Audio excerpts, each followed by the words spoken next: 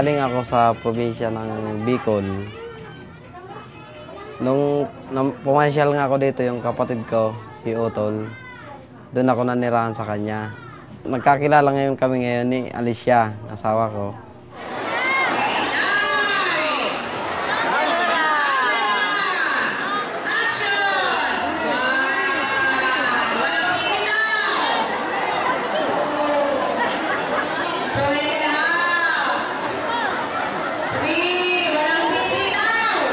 Dito kami nangungupahan sa bahay ni Junel. Nung pauwi si Junel ng probinsya, walang pera, sinala sa amin ngayon tong kwarto. Ano ito eh, dati daw, kangkungan to eh. Kangkungan tong lugar na to. Naunguna talaga dito tumira, yung chewing ko, sila Kamata, sila Paidoring. Hanggang sa dumami ng dumami, sa pagkakaintindi ko, ang balak nila gagawin tong QCCBD, Central Business District.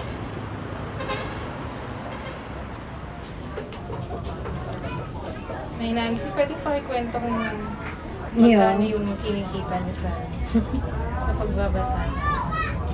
Kunti lang. Minsan nakakaano lang ako sa isang araw, 50 pesos. Okay. Pag whole day naman, tuloy-tuloy, isang daan. Hindi lang. Okay, tama. Tamang-tama lang sa ano, ambisyon. Hindi. 1990s noon, pag nagpatayo ka talaga, ginigiba. Pag nakita ng mga, ewan ko kung anong mga yun, sa barangay yata. Kasi parang bawal magpatayo. Ginigiba, kaya ang ginawa namin, isang araw lang talaga yung tinayo to. Tapos yun, medyo nagtagal na rin kami dito. Hanggang ngayon, dito pa rin kami.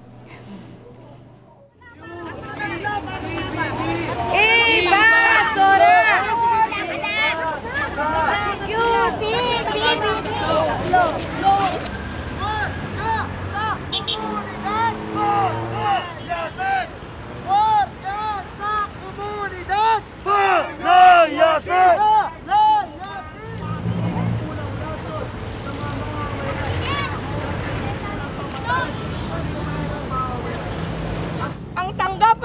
initse ay wala pong ginawa kung kami ay patakitan. Nando doon nadadalan kami ng mga ma- mga kung ano-anong pananakot. Kaya ngayon, kailangan namin na harapin nyo kami sa oras na ito at hindi kami halit na hindi nyo kami haharapin. Warga sa komunidad! Palayasin! Palayasin! Mga kasama, alam po natin kung sino ang kalaban natin. Ang National Housing Authority po ang ating kalaban.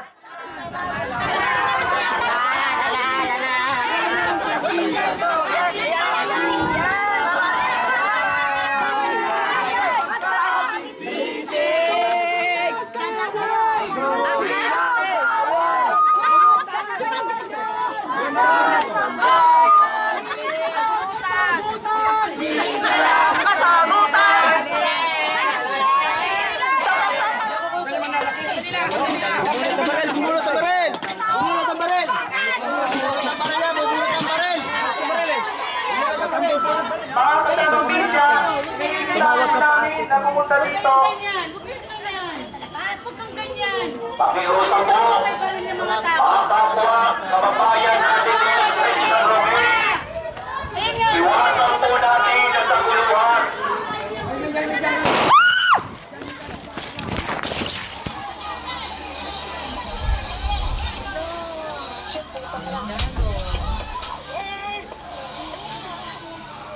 Nandiyan kayo niyan? Andyan kami. Diyan kami talaga sa harap dyan. Grabe ang pag-ano-ano namin dyan sa sa mga puno, doon sa ano, dyan sa barikada namin. Andyan ako sa ano yan. Umupo lang ako. Kasi yung tubig kaya ang sakit. Tingnan mo yung ano. oh. Grabe. Diyan na yan magpapaputok ng tergas. Kawawa dyan yung mga bata, tinirgas Oo. eh. Sobrang sakit sa lalamunan kaya. Gaya mo rin ako noon, Nancy. Hindi ako nagsasalita. Oo, hindi ako nagsasalita noon. Pero nung nung nagkaroon ng dimulis, saka iniwan tayo ni Buddy. Nung umalis na si Buddy, talagang doon na ako tumapang eh. Yung leader namin ng, presidente namin ng Kagapay, si Buddy Placer. Iniwan kami dahil doon sa sarili niyang interes. Maliit na gagamba, umukit sa sanga. Dumating ang ulan, tinubuy sila. Sumikat ang araw, natuyo sila. Sa unang asawa ko, nagkanak ako ng tatlo. Tapos, sa pangalawang asawa ko, nagkanak ako ng lima. Eh, yung lima, dito na sa San Roque, na ipanganak. Kaysa mangupahan kami ng mangupahan, inipon ko yung sahod ng mister ko. Nag-isip ako na maghanap ako ng rights. Nagbayad ako ng permit, tapos 300 sa barangay permit. Tapos nagbayad din ako do, naglagay din ako sa mga barangay tanod ng 500. Kaya hindi biro magpatayo ng bahay. Ang bahay ko, kahit maliit lang, umabot ng 45 mil ang gastos. Talagang gagastos ka, hindi basta ka lang tumira dito. Ito ang gusto ni Ria. Nainggit si Ria nito eh. Tingnan mo. Mga bakla. Sumama sa rally, naggaganyan. Ganito ang taong yunis yung tao. Bilangin mo na. Yung rally ng Women's Party. Pagdating ng madaling araw, mga alas 4, nasa EDSA na kami. Kabaan ng EDSA, puro na tao dyan, naghahanda, nagbarakada. Matatag naman yung laban namin nga ginawa, yung barakada, kasi nakita naman natin ng September 23. Alas 8, alas 7 pa lang ng umaga, dumating yung demolition team, 700 demolition team. Tapos dumating din po yung ah 500 kapulisan. Tapos may tatlong daan na SWAT. Aka, yung inaakala namin na hindi sasaporta yung mga residente, nagulat kami kasi uma, umano, dumaluyong yung mga residente. Tapos nag-akyatan na sa taas ng bahay yung mga demolition team, yung mga pulis, binabantayan kami. Dinidisarmahan kami para hindi kami makagalaw. Buong maghapon kami andun sa kalsada. Doon ko naranasan na ganito pala ang ano, ang makipaglaban. Yung parang masaya ka rin na ano. Kasi kahit papaano eh, parang panalo ka na sa laban na yun eh. Napaatras mo yung mga ano. Kaya sabi ko, ganito pala pag oras na demolisyon. Yung mga tao ba nagkakaisa.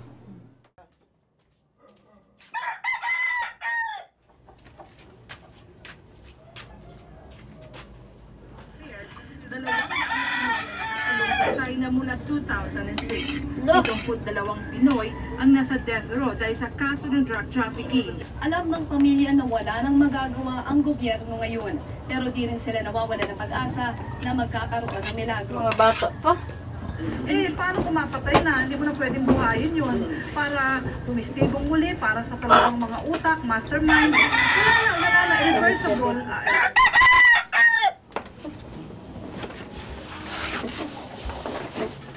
Dati, 2008, pumasok ako sa ASIC, dun sa Magallanes Village. Ang araw ko noon, 250. 2009, naging 250 pa rin. Toto- 2010, dun nalipat naman kami sa Dasma, Dasmariñas Village. Ang araw ko, 260. Mga ilang buwan, nung nagtas nga yung sahod, tumas din ng 10 piso, 270. Hanggang ngayon, 270 pa rin.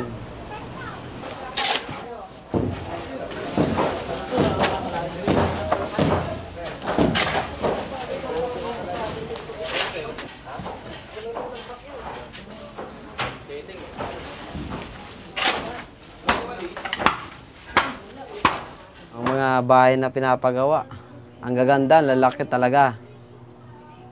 Ang tiles, ang tiles, magkano ang tiles na bili nila? Isang piraso, isang libo. Mabasag mo ang isa, wala na. Ikaw magbabayad. Ang kwarto pa lang nila. Sa atin, ano na yun eh. Ba, ilang bahay na yun.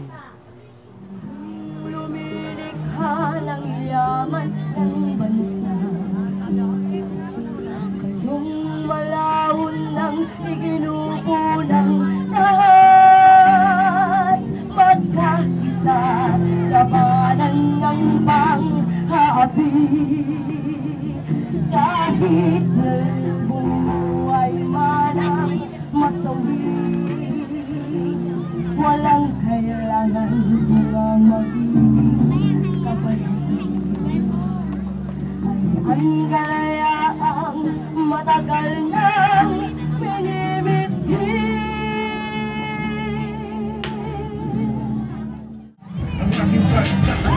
may pinakamalalang korupsyon sa mga pagkakin Wala nang libre sa edukasyon Mas malaki ang kultura sa pagkakin Armas bala kaysa pagkunan ng kinabukasan ng mga bang Humayok ang mga mata. Sa buko mo na mag-ibukas May mga bak estudyante na ang tsinelas ay putas na di alam kung paano pa magtatapos sa pag-aaral. Sa ni Kawalan ng pera siya paunahin na di sa kabata Yaman na karunungan napakahirap na makapit. Kung totoong makatao ka bakit mo ipagkakait? Sa halip na umunawa ka sa hirap ng kalagay Isa ka lang sa dumagdag sa pagbigat Sa taong bayan kaya mas lalong dumarami yan Nagsisilaking mangmang Siyang ikinatutuwa ng mga negosyante mo palamang Na wala lang ginawa kundi magpayaman ng gusto Karapatan ng mga maralita Tinatapakapahan nila Muli po, ang konserto pong ito ay inihatid sa atin ng Alyansa ng Kabataang Lumalaban para sa Sambayanan at ng Kontra CBT.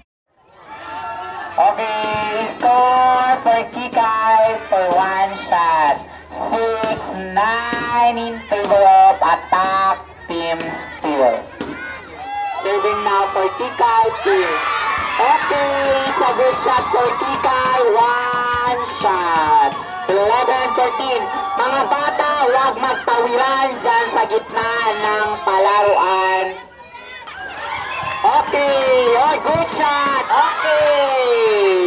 It's a bad luck for Kikay team. It's a good shot for attack team. Sana po ay yung dapat na sumuporta sa darating po na demolition sa San Juan ay makiisa po tayo. Huwag po ninyong kalimutan.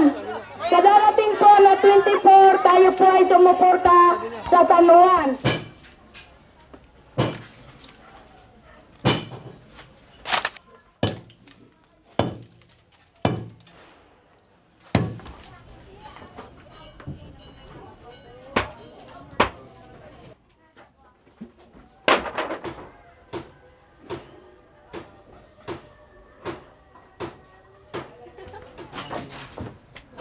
Na makipaglaban. Hindi nga, araw na eh. Volunteer na eh.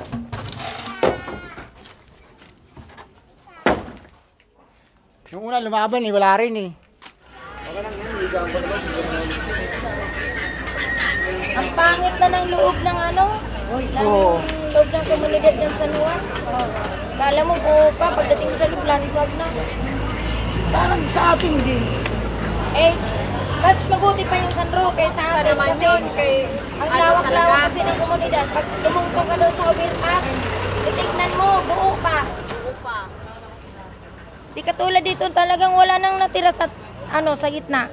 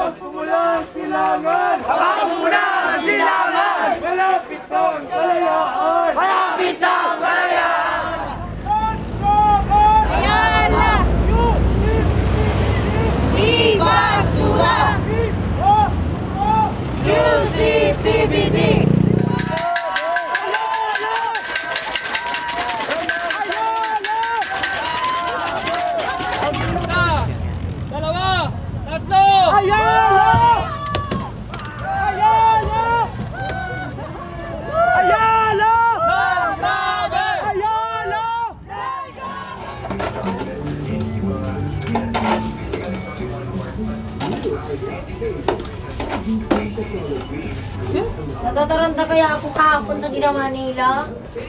Ay, oo. Di ba kinalampag na yung gate? Oo. Di ba gumanon din yung mga sikyo? Ang daman si Kyo. Nabato na lahat-lahat saka sila humanay. Bukas. Ano to? NHA? Bukas yan.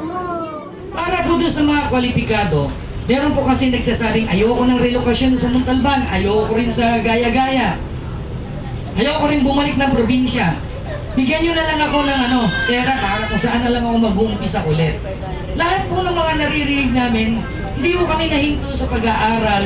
Ang interagency, gayon din po ang NHA management, kung ano ba ang pwede pa namin maitulong sa inyo para tayo ay magkaroon ng mapayapang paglilikas mula sa North Triangle kung saan nyo man gusto nga.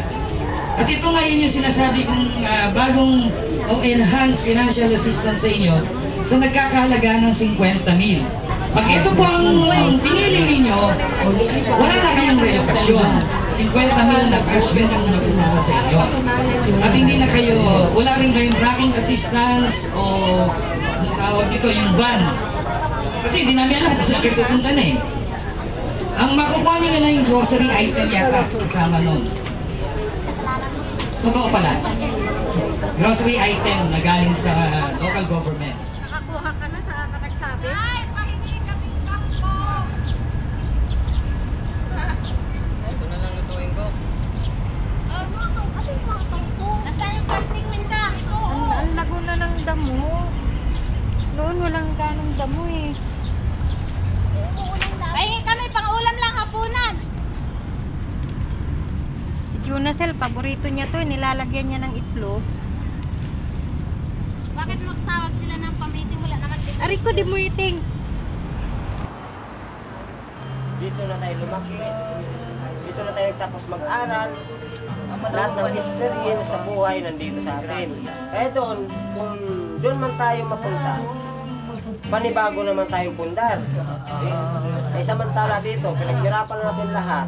Kahit anong lalim ng tubig, tinampakan natin para matirahan natin. So ngayon, bigla lang tayong papalisin. Ayun, iba naman, susuhulan ng pera. Ganito, araw-araw may 500 ka. Para mayroon kang kang gusto sa mga anak mo, para hindi ka hirap. Ngayon, iba naman, natadala sa ganyan, mga pantusto sasabihin, nasaan, natupad ba? Wala. Magpapalit niyo yung pinaghirapan ng magulang niyo sa pera. Pag-isipan niyo muna na maayos. Tingnan niyo kung anong hirap ang dinanas ng magulang niyo. Sana ganun din ang paghirap natin. Ganun din ipapalit natin sa magulang natin. Kaya natin ipaglaban yun. Basta tayo magkaisa lahat na mahirap. Di ba? Ito yung damit ko. Sama ng grado sa... Mga gamit mo yun, Day? Po, opo. Eh, balik ka na doon sa... Kaya ipatanggal man lang siya. Ito, gini ba? Siya may-ari dyan. Pinatira namin kaya wala nga matirahan. Nagkalat yung gamit namin. Kaya sabi mo siya, tanggalin yung mga gamit. Yaman yung isa dyan. Nagpag-iba ng bahay, siga yan eh. Pasiga-siga dyan. Sinaklaw niya lahat kahit hindi niya bahay. Gusto lang niya makuha yung pera. Wala siyang bubong eh. Kaya sabi ko, i ano, doon na muna siya sa kubo, matulog. Si kawawa eh. Mababasa talaga siya. Hindi, kahit nung gagawin, may katulad-tuldahan na lang yun para sa kasulungan. Ganun lang, dahil lang yun. May tuldan yan, eh, may tuldan lang yan. Yung tuldan niya, asan ang tuldan? May tuldan yan, kung sino yan may tuldan. Yan, Hmm, kukunin niya ni ano, kukunin niya ni Yoli. Tapos ang ano ni Yuli yata, pinasakay daw yung mama na ano, bali ng Ayala. Naka-eyeglass kaya yun ng ano, kulay itim. Nagupo doon sa katabi ni Yuli Bali. Ay, nandiyan o. Nabasa ko nga yung sul- ang letter ni Ayala, ang rules. Ang rules daw nung 30 bill na yun. Kuha ni. Yung taga Montalban, relocated na siya sa Montalban na may bahay pa rito. Yun ang makaka-avail ng 30 mil. Disqualified ka man, hindi. Giniba mo yung bahay, wala naman daw pera na inabot doon. Oh, Kasi marami katatan na ano na tao doon. Iniba daw yung bahay, wala naman daw yung pera. Maraming katanungan yung... Umalis na daw yung mismo yung nag, ano ni Ayala. Bagaman inulikot nila ako sa Bicol na. Oo, eh. Gawa- Pagawa nila ako ng bi- bahay doon sa Bicol. Eh, si Kuya, alis dito. Kung pera naman kasi ang tanggapin natin, ang pera madali maubos eh. Ang pera. Eh, pero kung lupa, may ipamana natin sa anak, eh, yung 50 mil. Hindi ko yun maibigay sa anak ko, may pamana. Isang buwan lang, ubos na. Eh kung lupa, ay di mamanahin pa nila. Kung dumami man mga anak, pwedeng magpatlaas. Dito, na, basta dito lang sa syudad. Tayong karapatan sa lupa na to? At hindi ba tayo kasali doon sa pagkaunlad sa lupa? Di ba dapat, di ba dapat sinasabi nila, yung tinayo nila ng lupa sa Montalban dahil walang kabuhayan? Pwede naman po ditong tayuan ng babahay ng kaya nating hulugan. Kaya ngayon po ang taktikal ng gobyerno, alisin tayo dito na sa pilitan. Depresyuhan yung ating pag-alis. Ano po, salamat po sa lahat ng umattend sa sa pulong na to. Tapos sana sa susunod na meeting, dapat mas marami pa kasi titingnan ko po yung ano yung listahan. Kung sino yung active, yun ang unahin naming ano. Pero yung hindi uma-attend, Wala, sorry na lang po. Kasi mahirap po ang laban na to. Dapat maki-ano din sa atin.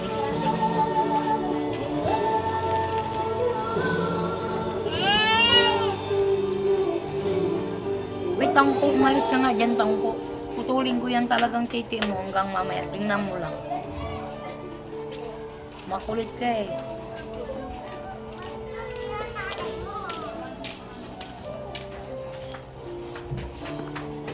Mulang sa lang sa pati.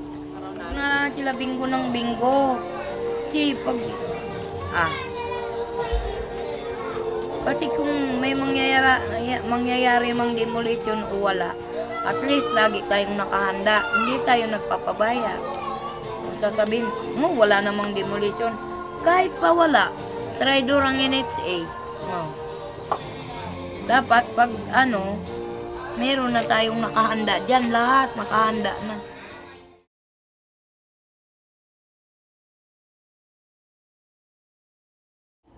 Sige. Di nandito nito sa ano, sa Dubai, si Manu. O di kami na ni Kababi doon sa EDSA. Hindi, doon na lang si Sadelina. Sino? Kuya Ricky sa Lilina. Ati, ati, ano? Si Ati Inday sa fire station. Meron lang tayong magdodokumento, ilan ang ah, Ayan, para ano yan? ilan ang tinamaan ng ano, Ng shabu. ilan ang natergas. May Center Island dyan. Ito lang na may kalsada. Kung ito yung harangin natin, tao lang mapapasok, eh, makapal naman tayo rito.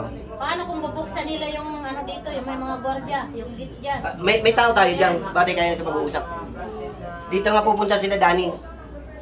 Kasi bukas tayo roon na sisirain nila ito sa kanilang pagkadesperado. Para dyan pumasok yung tao. Dyan talaga yan. Yung kanilang dem- demolition team. O di, Yung mga Yes. demolition team. useless yung ating... Diyan nagdadaan dati. Oo. Ganon din naman kung dito pumasok sa Agham. Magkakati rin lang ng tao papasok dito. Ang magiging estilo naman kasi natin dyan, kuyog system. Bagamat may nakapwesto dyan, sila yung mayor. Magpapa-reinforce tayo.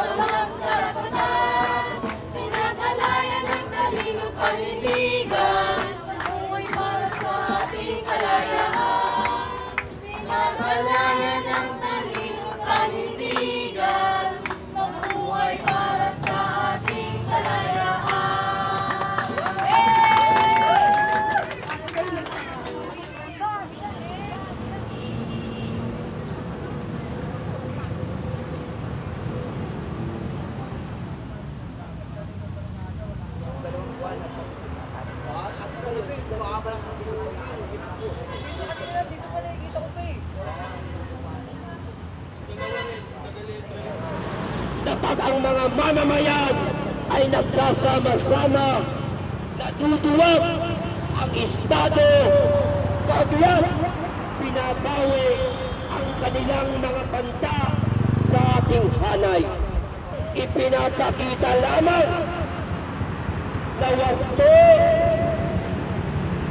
ang ating ginagawa ang pagdepensa sa ating komunidad sa pamamagitan ng barikadang bayan Kasi kahit sabihin lang kalahating taon yan o isang taon yan, ang ending pa rin yan. Andito na si demolish. Kakamuta ka si Gerald. Kung pwede nga, para, para kumaba yung ano ng ano. Pupunta rin kasi sila rito. Atak din Ah, kasi alas 10, lahat ng ah, tipunan natin pupunta rito para mag-noise barrage. Mas unahin yun dito kasi kursunada nilang tanggalin itong dalawang... Mag-noise barrage tayo rito, yun ang pangsara natin. Tsaka kasi national road dito kaya dapat patukan. Ano ko lang yung media ako.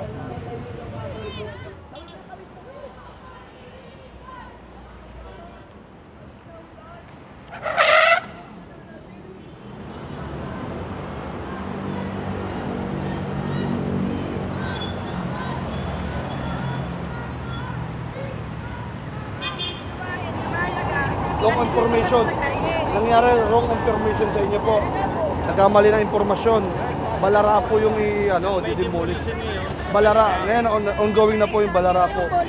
Station Hindi po namin kasalanan kung maglagay kami ng barikada dito dahil ang sisihin nyo dapat si Mayor at saka yung Elitse.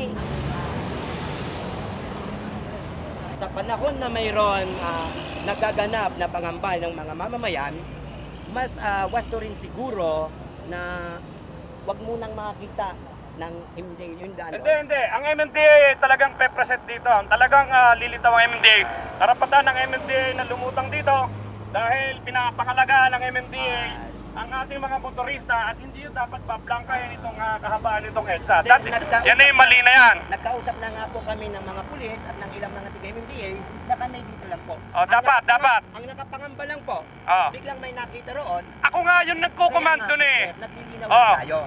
Na sana, sa ganitong may kala kalagayan, kung po pwede, pwede naman medyo sa iba-ibang sa may Hindi. kita. Ang talagang gagawin namin, dito, pa, bukong kami dito, pag uh, magbabumper security ka na rito so that hindi na nyo maiharang yung mga, let's say for example, kahoy, ano naman Sir, dito. kanina pa nga nang mag-uusap yung mga pulis, itinaas na namin. Ipaglaban natin yung karapatan natin dito sa EDSA. Ipaglaban natin sa, sa lansangan yung ating mga karapatan. Kaya huwag kayo maniwala dyan sa mga instrumento ni Ayala at ng bulok ng Estado ito. Patuloy lamang ang kabuhatan ng, ng mga bulok dahil sa ito. Patuloy lamang na pinapahirapan ng mamamayan, lalo-lalo na dito sa sitio San Roque. Alam po natin na sa panunungkulan ng Administrasyong Aquino, na wala nang ginawang matino.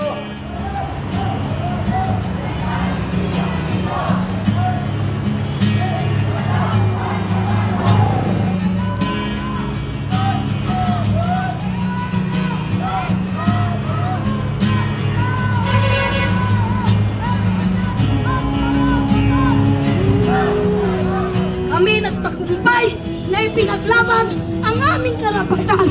Hanggang sa huli ng laban, kami mananatili sa North Triangle. Walang makapagpalit sa amin. Kahit sinoy-noy Aquino, ipawipuis namin ang buhay dyan sa lugar na yan. Kami na ang nagpaunlad. Kami na ang nagpaganda sa lugar na yan. Ngayon, si Ayala ang magmamayari. No! Hindi! Kaya mga kasama, sa Maralita, lalaban tayo!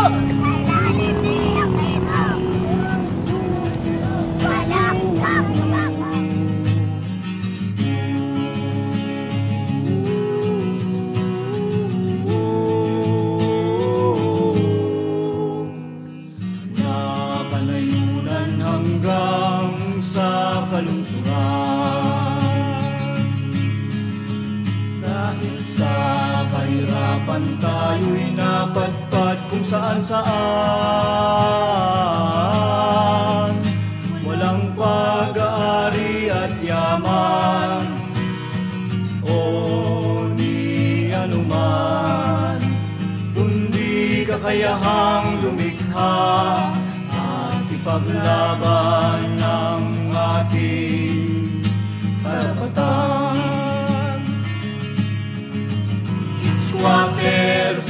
sariling bayan Winawasak ang kabuhayan.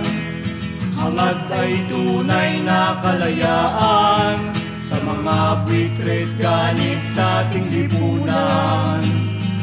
At sa salot na mga imperialistang kahaman